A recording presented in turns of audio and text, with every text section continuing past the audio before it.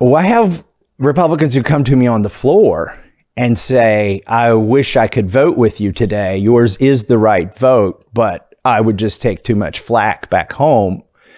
And I have Republicans who come to me and say, that's wrong what AIPAC is doing to you. Let me talk to my AIPAC person. By the way, everybody but me has an AIPAC person. What like, does that mean, an AIPAC person? It's like your babysitter, your AIPAC babysitter, who uh, is always talking to you for AIPAC. They're probably a constituent in your district, but they are, you know, firmly embedded in AIPAC. And every member has something like this. Every I don't know how it works on the Democrat side, uh, but that's how it works on the Republican side.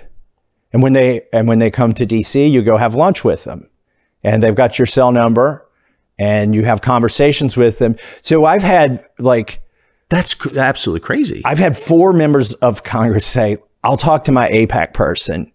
And it's literally what we call them, my AIPAC guy.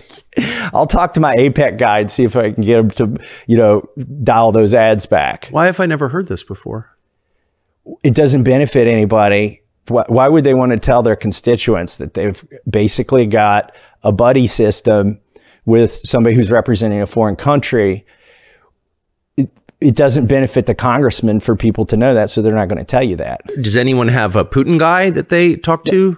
Not only do they not have a Putin guy, look, they don't they they don't have a Britain guy. They don't have an Australian guy.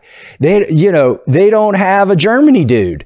Like it's the only country that does this, that has somebody that like uniformly, I guarantee there's some spreadsheet at AIPAC where where you know the the AIPAC dude is who's matched up with the congressman is there, and then all the congressman's votes on the issue. Oh, has the congressman been to Israel? They they pay for trips for congressmen and their spouses to go to Israel. I may be I mean, I don't, I, am not the only Republican who hasn't taken the AIPAC trip to Israel, but I'm probably one of a dozen that hasn't taken that trip. And the other ones just haven't got around to it.